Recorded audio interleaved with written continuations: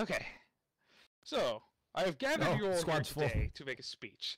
To explain to a lot of you people who don't know me, and probably to everyone who does know me, about what I fight for. I'm sure Oh, many of you Captain fight Arms. for Damn. glorious still remember your character. I know, right? I Maybe know. Bill should be speaking in uh, proximity quiet, rather quiet. than plan, uh, platoon. meant to be Actually. Oh, Captain in Arms. Haven't seen you in a while. That is not what I fight for. Sound muted. What I fight for is something more evil and diabolical and messy. I fight for destruction, murder, mayhem.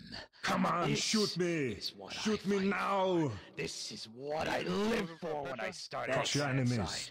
Since my proxy warrior days to Got extra You are ammunition. mine now. Bonus check. As of this day, you all now fight for these purposes and reasons, and I'm excellent with words. You are all now my champions. Today we will conquer this continent, slaughtering the spandex wearing bastards, killing the oppressive motherfuckers of the Terran Republic.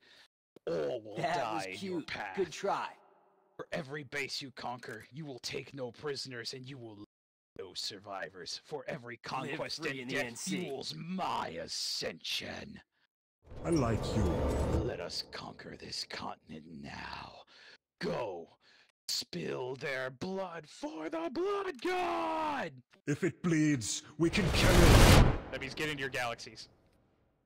Go, get into your galaxies. Go, go, go, go, go. I need a gunner.